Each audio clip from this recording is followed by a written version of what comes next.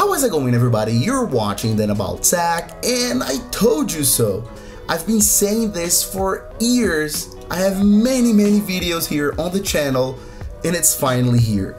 If we go to settings, under charging optimization, we have the 80% charging limit right here on the iPhone as a native feature, meaning that when this is on, when this is toggled and checked, as you can see right here, your iPhone battery will never charge past 80%.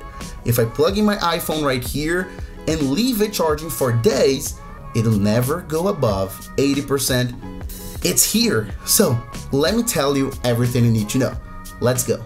Okay, so first things first, I have to tell you that this new feature, the 80% charging limit, is exclusive to the iPhone 15 series. So not just the 15 Pro, but actually the 15 series. So 15, 15 Plus, 15 Pro, and 15 Pro Max like this model right here. And I do say for now because we don't know if Apple will make this feature available for all their iPhones in future iOS 17 software updates. So we have to wait, and of course, I'll let you know. Okay, so by now you probably know that charging your iPhone past 80% is bad for your iPhone battery. Lithium ion batteries don't like being charged past 80%. And this is super easy to tell. When you charge your iPhone, this first part from 0 to 80% is super fast, right? And then from 80 to 100, it takes a lot of time. And this has to do with the physical and chemical properties of lithium ion batteries. So not just iPhone batteries, but any smartphone batteries, notebooks, even electric cars. So they don't like being charged past 80%. I actually have other videos here on the channel where I go in depth on this topic. I actually show you articles, papers, and a ton of technical information regarding this specific thing of charging past 80% and why it's actually bad for iPhone battery. So if you want to take a look, card here, link in the description if you want to learn why this happens. Now, and that's why this is such a huge deal because now if you go to settings and scroll down and tap on battery and then battery health and charging, under charging optimization, we have optimized battery charging, and of course, 80% limit.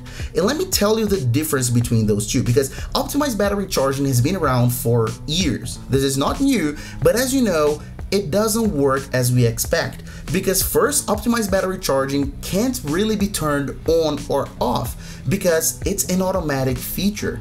It uses AI and machine learning and sometimes it works, sometimes it doesn't.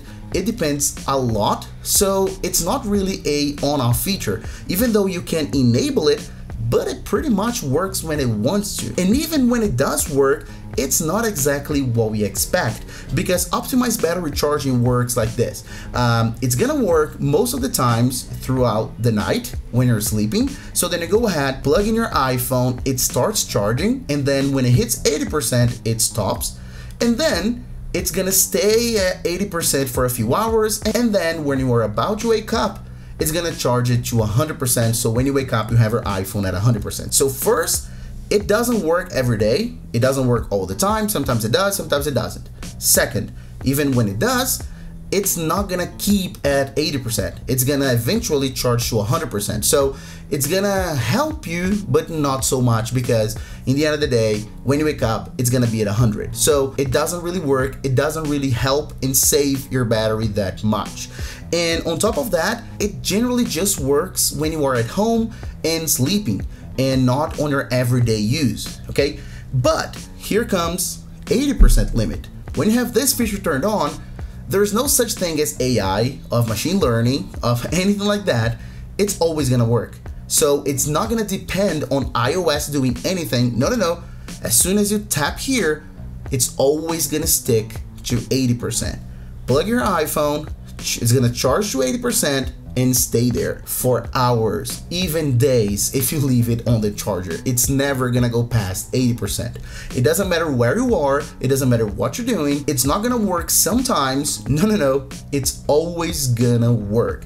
It's an on off feature that will always work and it will always do exactly what you want limit your battery charging to 80%. And the way it works is really clever actually, because when the feature is turned on and checked like mine is, and you go ahead and plug in your iPhone to the charger, it's gonna charge to 80%, right? And then after some time, iOS will automatically disable charging and then it'll start going down, right? 79, 78, 79. And then when it reaches 75, iOS will automatically re-enable charging and then it'll go to 80% once again and then it'll keep doing this to prevent your battery from aging and degrading so fast. So it'll be doing that 75 80, 75 80, 75 80 uh, throughout hours that you leave it on the charger. And this is so, so good because keep your iPhone at 80% all the time isn't ideal either. So doing this process of small discharge and recharge right here is so, so, so much better for your battery. All right. So uh, that's how it works. That's 80% charging limit right here on the new iPhones 15. Hopefully, hopefully, and I do really hope this comes to all iPhones running iOS 17.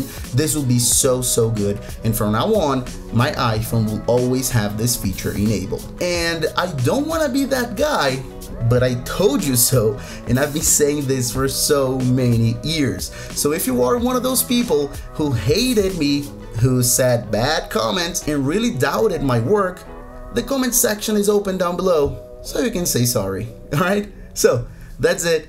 Thanks for watching, and I'll see you in the next video as usual, guys. Bye bye.